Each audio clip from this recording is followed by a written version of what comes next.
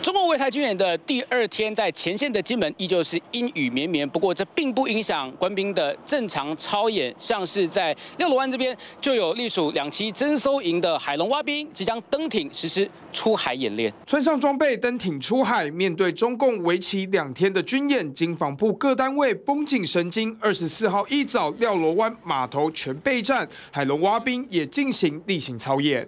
海龙蛙兵照常实施海上的操演之外，海巡弟兄为了防范大陆的船只会进入到金门的禁限制水域，其实一早他们就派遣两艘百吨级的巡防艇以及两艘三十五吨级的巡防艇到禁限制水域附近进行待命。原本预计早上八点才要出海，却突然提早一个多小时出海待命，就是要确保大陆海警船不会越界。而这里是中华民国海巡署 PP 三五拐腰艇。广播，啊，你即将进入我国限制水域，请立即调整航向，否则我船将依法采取必要行动。早上八点零三分，海巡署在东引和乌丘侦获两艘大陆海警进入我限制水域，遭到驱离。虽然这次军演对于外岛没有造成实质威胁，但在乌丘岛的运补作业因为中共军演而延后。不过在渔港方面，适逢大潮，还是有不少渔船出海作业。我们渔船它不会怎样啦。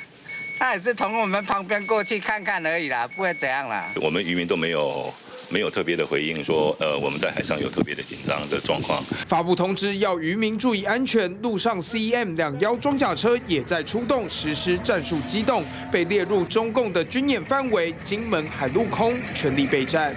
TVB 的新闻周荣轩、叶峰伟、许家瑞、崔永群金门采访报道。想看最完整的新闻内容，记得下载 TVBS 新闻网 APP。